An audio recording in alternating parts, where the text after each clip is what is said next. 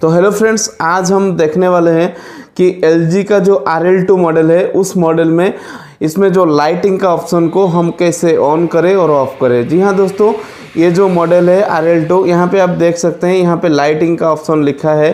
पूरा लास्ट में वो लाइटिंग का ऑप्शन को आप जैसे प्रेस करेंगे तीन बार प्रेस करने के बाद ये ऑफ़ हो जाता है फिर जैसे उसको दोबारा प्रेस करेंगे ये ऑन हो जाता है। उसके बीच में तीन आ, उसका मोड आता है वो mode water mode party mode ये पार्टी मोड के हिसाब से वो कलर चेंज होता है और उसका जो सिस्टम चेंज होता है। जी हाँ दोस्तों ये रहा